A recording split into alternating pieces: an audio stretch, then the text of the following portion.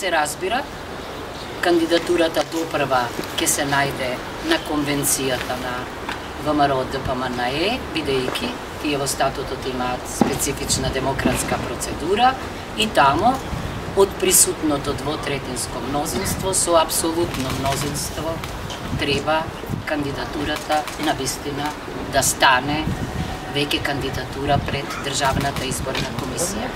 И колеги што ме убедува, ме уверува дека сум добро решение за кандидатка и за председателка и што во рекорден рок ги собра потребните 30 подписи, без да знам.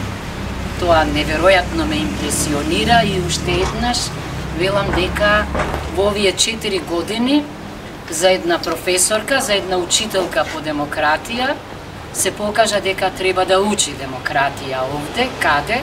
Токму во школата на демократијата. Држави, дури и оние во Европската Унија, повеќе не ценат од што ние самите себе си.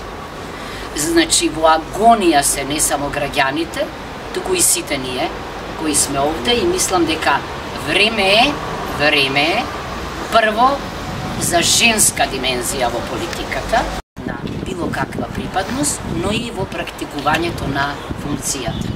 Се разбира, не е време за обзнанување на програмата, ама јас покрај апликацијата поднесов и план за работа и програма, ама еве, само како кон индивидуи, како кон припадници различни, како кон суверен.